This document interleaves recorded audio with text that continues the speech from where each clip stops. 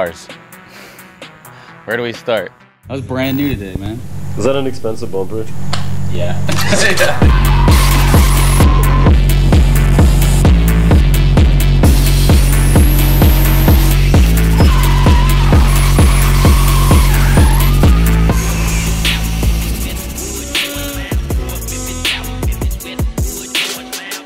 It started off as a young kid skateboarding and snowboarding, and that's all I did.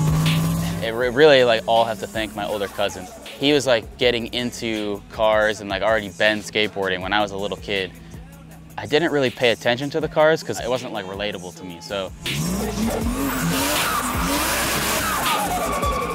play like Gran Turismo and like Need for Speed and all the old video games, and I was drawn to the old rally cars.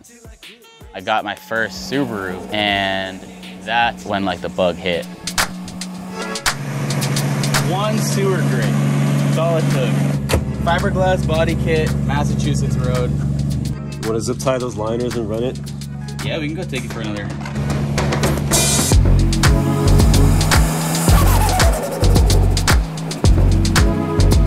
The type of cars that would make me want to build a car, it always kind of like end up at the drift cars.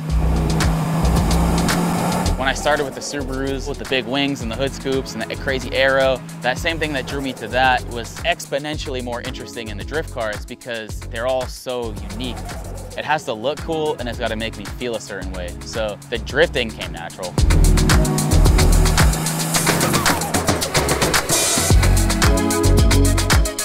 When I first started seeing drift cars and drift videos, I was like, oh, this is it.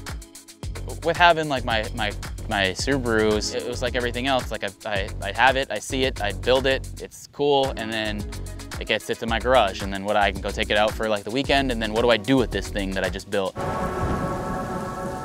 I took it to the drag strip and that didn't really interest me. It's just kind of like a useless thing to me. Like the thrill of building it like kind of ended when it's done and then there's nothing to do with it. So the drift cars, you build something and it looks sick and then you get to go use it and learn how to do something. It's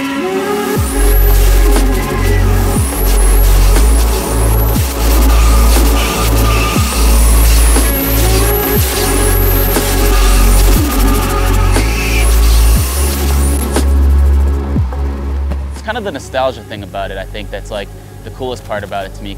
Making a car look like how it should look back in the 90s, it can be fast, it can drive good, but if it doesn't look cool, it's not interesting to me. It doesn't make me want to have it. Having a track close to me and having people around me that were into it and doing it, I was just like, this is it. This is the only thing that I would want to do in cars.